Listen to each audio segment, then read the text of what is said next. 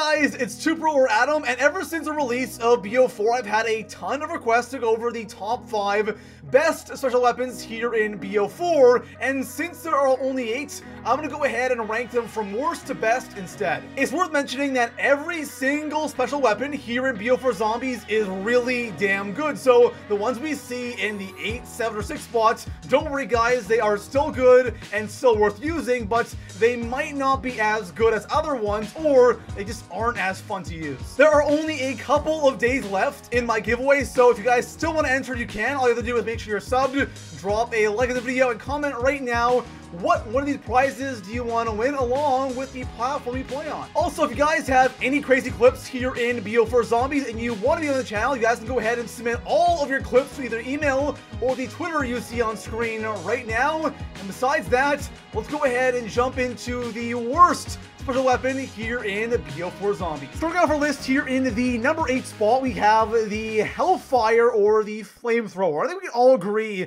that the Flamethrower is probably the worst special weapon here in BO4 Zombies. It's still good, but not as good as the other ones here in BO4. The three stages of the Hellfire, the first one is the Flamethrower, so it's just a standard normal Flamethrower. Stage 2 is a Blast Vent, which is kind of like a mini Thunder Gun shots. And then stage three is Infernal Tempest, which kind of creates this fire tornado, and it's actually really effective. So the flamethrower, like I said, it's good. Um, Blast, by the way, is is horrible. I don't like it, but the flamethrower stage and the Infernal Tempest are definitely good. They're effective, but this is definitely not my first choice when it comes to a special weapon. Next up in the number seven spot, we have the Viper and the Dragon. And Real quick, starting off with the stages because not much really changes when you go from stage 1 to 3. So with the hand cannon, on stage 2, your shots become explosive. On stage 3,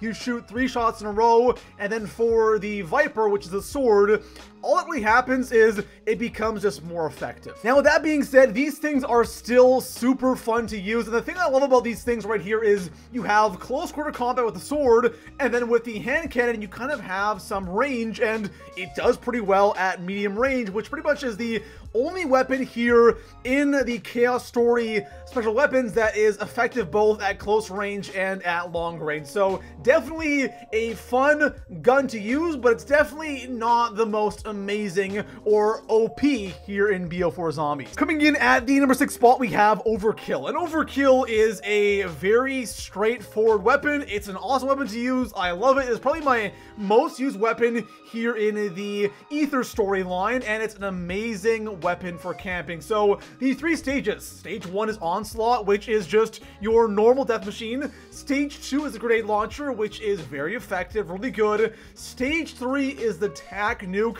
I don't like the nuke though, because I don't want to get rid of my weapon just for a nuke. I'd rather just shred zombies. So overall, the Onslaught Specialist is definitely something that is effective for sure, but it's pretty much what you expect. And the only unique feature that it has, which is the nuke, is something that you'll rarely use. Coming in at the number five spot, we have the Scepter of Ra. and this right here is the ultimate medic weapon. If you're somebody that loves reviving players in game, this is for you because stage one, which is the Ray of Life, shoots that kind of beam of energy or light. It is great for killing zombies and killing gladiators, and on top of that, you can shoot this when someone's down and it will revive them. So stage two doesn't really do all that much. All it does is when you actually have this thing out, you take less damage from the special zombies. So the, you know, the water zombie or the fire, electric, or the poison zombie. So that's all that stage two does. Stage three, though,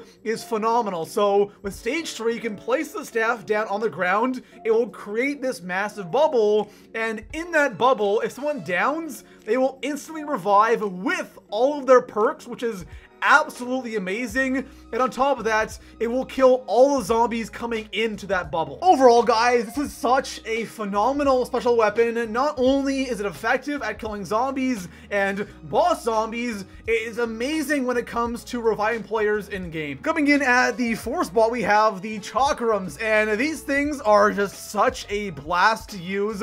I absolutely love them. If you guys want to just have tons of fun on IX or Voyage, please use these things. So for the three stages of the Chakrams, for stage one, it's pretty simple and straightforward. You have a melee attack, and you can throw one of your Chakrams out, kind of like a boomerang. It will go out, kill some zombies, and come back, so nothing too crazy. Stage two is very simple, but probably my favorite thing about these things is you get a massive speed boost while walking. So the chakrams themselves themselves probably just do more damage, I don't know, but you just get a massive, massive speed boost, and it's so fun. Like, you can just, you know, kind of deacon dodge through zombies, or you can kind of, like, constantly circle a gladiator or a blightfather while you're stabbing them to death. It is just the funnest thing in the world, and then stage three, stage three is phenomenal. Stage three is just way too much fun, so you kind of summon this purple storm around you, and with the normal zombies and the special zombies, so like the fire zombies, zombie, the water zombie, like those kind of zombies,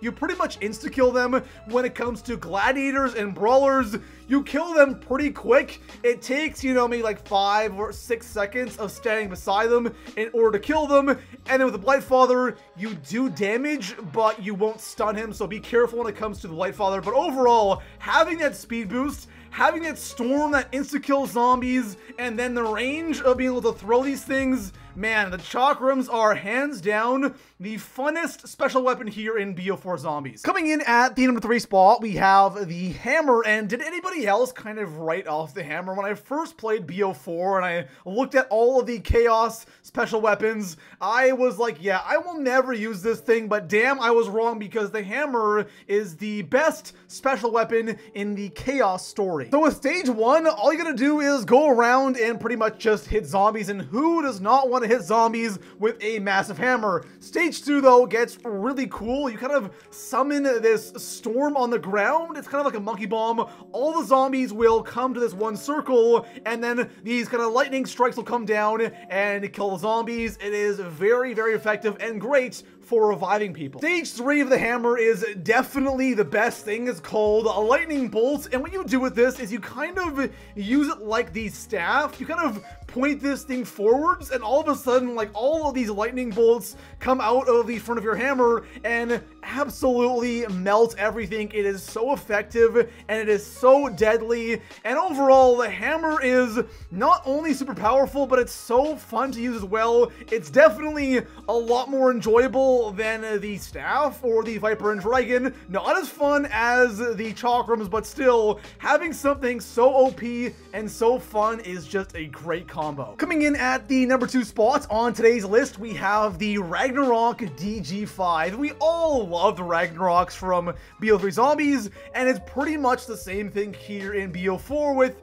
a couple of amazing changes. So with stage one, we all know what the Ragnaroks did in BO3. You jump up and you slam your rags down, and it pretty much kills everything. So that's something we're used to. Stage two, though, is hands down my favorite thing about the rags here in BO4. Stage 2 is called Electrocute, and pretty much what it does, you have this electric field around you when you have your rags out, and if a zombie gets too close to you, it just instantly dies. It is so nice. It does take a little bit to recharge, but pretty much it's like every little bit, you know, a zombie comes close, it instantly dies, and you're safe. So I absolutely love this, especially on Blood, where it's super close quarters.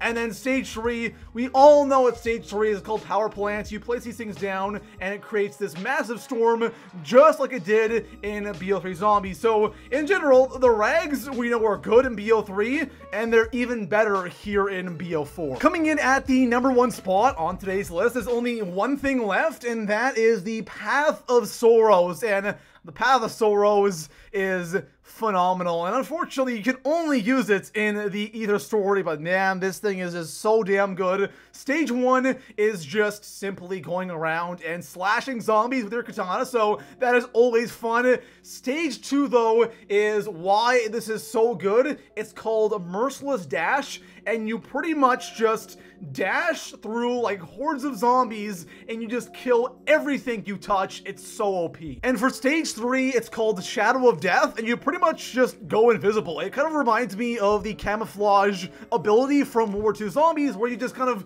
go invisible for a certain amount of time, and that's exactly what this is. And of course, during that time, you can go ahead, revive people, you can, you know, kill zombies. So, it, you know, overall, the, the Path of Sorrows, it kind of just does everything, right? You get points for melee kills, you have that Merciless Dash, which is just so incredibly powerful, and then you have the Shadow of Death that helps you revive players or just kind of get out of a bad situation. Now, I'm sure a lot of you probably disagree with my list, so please let me know right now in the comments below, what does your list look like? What do you guys think is the best and the worst special weapon here in BO4 Zombies? And besides that, I'll see you guys in the next one. Peace out.